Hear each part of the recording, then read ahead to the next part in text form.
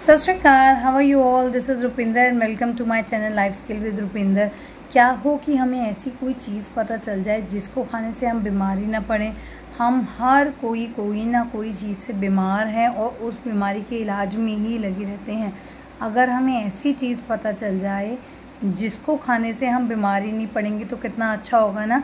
आज के इस वीडियो में मैं ऐसी चार चीज़ें बताऊँगी जिसको अगर आप भिगो के खाएँगे तो आप बीमार ही नहीं पड़ेंगे, आपका पूरा बॉडी हेल्दी हो जाएगा। तो so please do watch this video till end इसमें बहुत इंपॉर्टेंट चीज़ें हैं जो आपके घर में बहुत इजीली अवेलेबल हैं।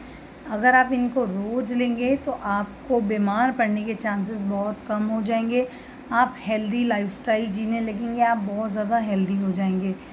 चलिए हम इसे स्टार्ट करते हैं। सबसे पहला तो हमें ये पता होना चाहिए कि हम चीज़ों को भिगोते क्यों हैं।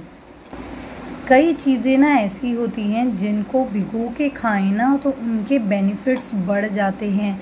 और कई बार क्या होता है कि जो हम चीज़ें भिगो रहे हैं, उनमें कोई ना कोई ऐसी चीज़ होती है हार्मफुल केमिकल्स जिनको भिगोने से उनके हार्मफुल केमिकल निकल जाते हैं और आपको सारे उसको बेनिफिट्स ही मिलते हैं।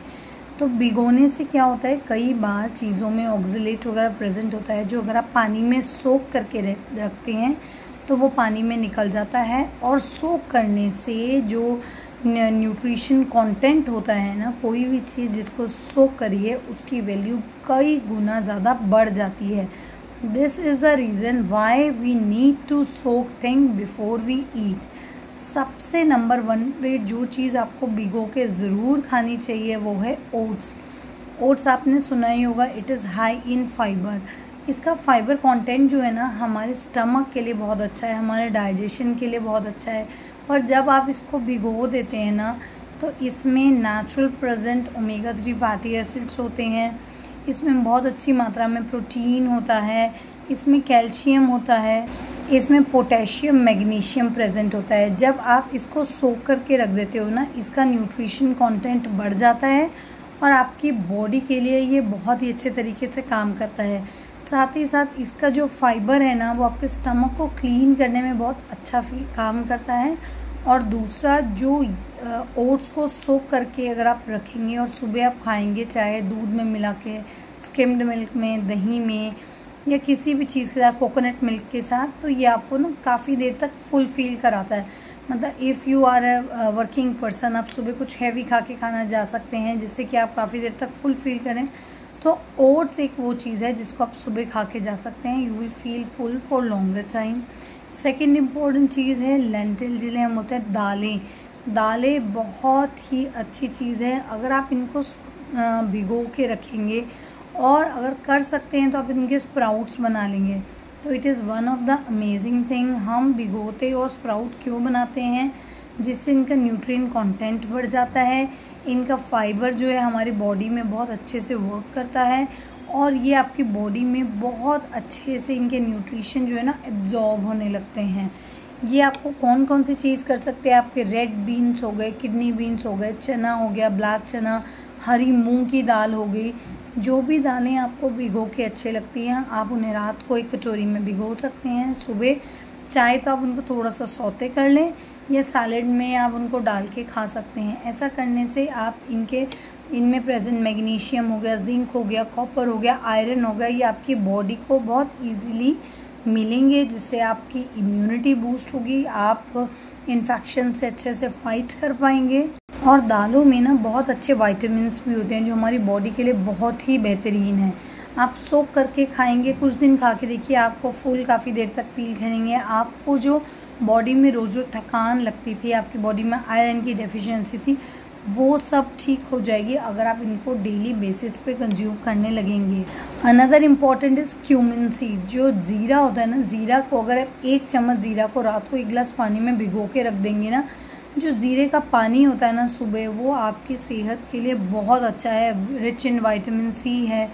मैग्नीशियम है, आयरन है, ये लेने से आपको गैस की प्रॉब्लम, कई लोग को बहुत ज़्यादा गैस होती है, स्टमक में दर्द होता है या भूख नहीं लगती it is good for your liver आपके लीवर को बहुत ज़्यादा स्ट्रॉन्ग करता है, कईयों को नोजिया की बहुत प्रॉब्लम होती है डायरिया की प्रॉब्लम होती है, उन सब चीज़ों के लिए cumin seed water is really good ये लेने से आपका स्टमक बहुत ही अच्छा रहेगा, आपका पेट साफ़ होएगा, आपको स्टमक से डाइजेशन से रिलेटेड प्रॉब्लम नहीं होगी।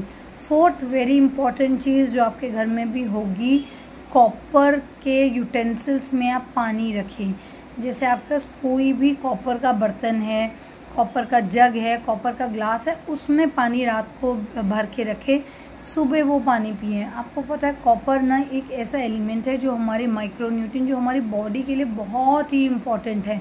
तो अगर आप कॉपर के तांबे के बर्तनों में पानी रखेंगे या कोई भी चीज़ रखें जिसको आप बाद में कंज्यूम करते हैं तो हमारी बॉडी में जो ट्रेस एलिमेंट कॉपर के रूप में चाहिए, हमारे थायराइड ग्लैंड को भी एक्टिव रहने के लिए ना कॉपर की ज़रूरत होती है। तो अगर आप पानी को रात को रखेंगे, कॉपर के बर्तन में सुबह पियेंगे तो आपकी बॉडी को कॉपर मिलेगा।